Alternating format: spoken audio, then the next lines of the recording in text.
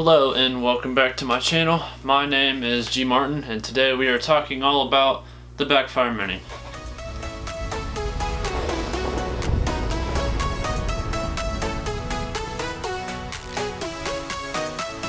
Now, the Backfire Mini, I picked it up, I want to say, about two months ago, and it's been one of the best purchases I've ever made.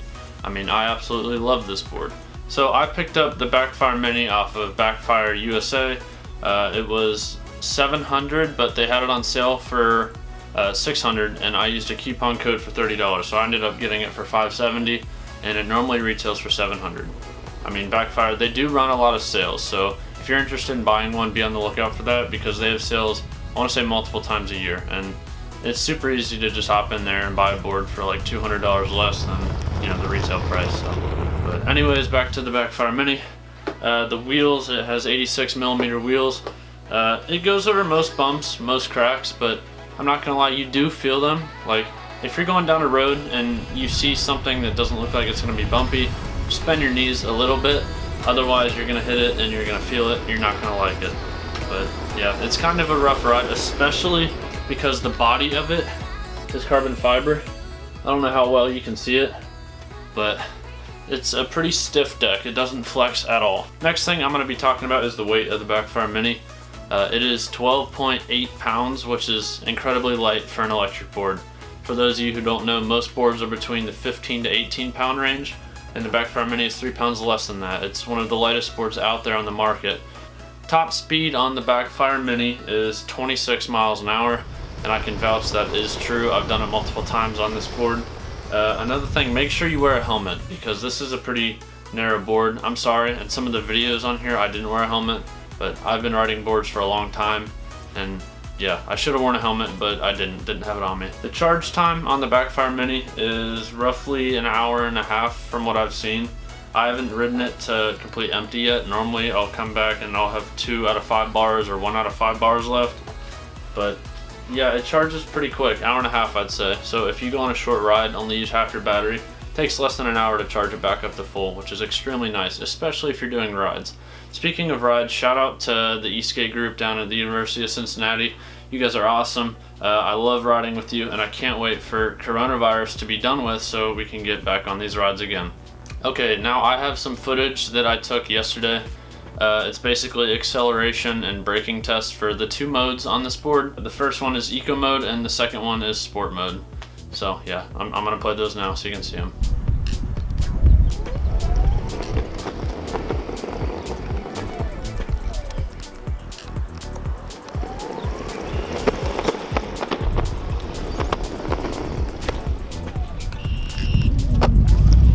As you can see in the eco mode, the acceleration is way less compared to the sport mode.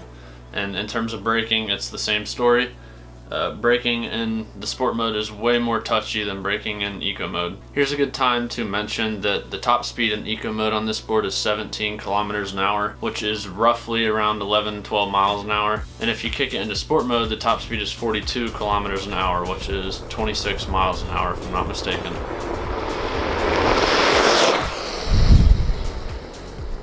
Another point about this board is the battery sag is extremely low.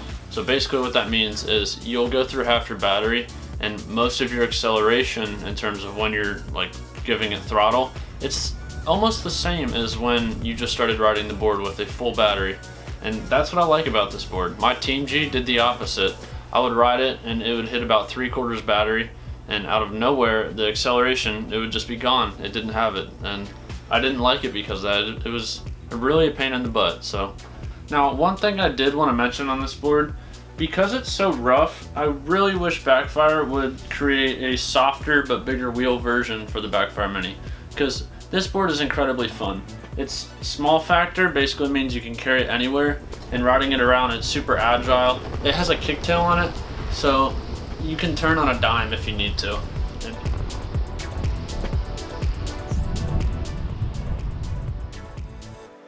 This is the end of my first video back. I hope you enjoyed it. I hope you learned something about the Backfire Mini. If you wouldn't mind, please consider subscribing. My channel is at a very small point right now, and the more subscribers I can get, it'll help me build my audience, and I hope you guys enjoy my videos. I really do.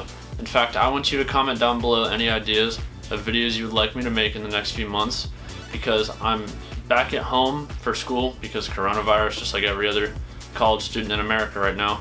But yeah, I'm back at home. I have some more spare time, so I can make some more videos. So if you want to see 3D printing videos, I don't know, board videos, drone videos, maybe it's not one of those three, maybe it's something random, please feel free and drop it down below. But I'm gonna leave it at that. I hope you enjoyed this. Stay safe, and yeah, see you in the next one.